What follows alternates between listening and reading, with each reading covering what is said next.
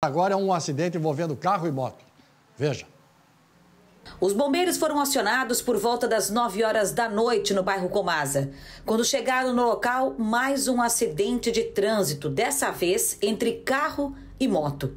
De acordo com testemunhas, o motorista do veículo estava com uma carretinha e vinha pela rua Baltazar Buchle. Ao virar à esquerda na rua Maracujá, acabou acontecendo a batida. O motociclista disse que não havia sinalização na carretinha e, por isso, ao tentar ultrapassar, bateu. Já o motorista do carro alegou outro motivo.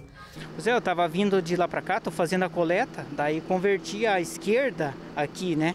E o pessoal toda vida colado, no trevo já vinha três colados em mim, né? Não justifica mais, é, o pessoal não dá espaço. Carreta, caminhoneta, caminhão, tem que se dar espaço. O pessoal tão colado a um metro, todo dia a gente não aguenta mais isso aí. A vítima estava é, deitada, estava em solo, né?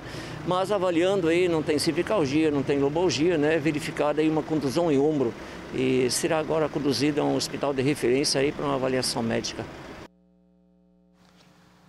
Muito obrigado. Esse é o Avelino, nosso, nosso bombeiro veterano, voluntário aí, que sempre trabalhando aí, dando uma, uma olhada para o nosso pessoal de Joinville, cuidando, né? Um abraço para ele.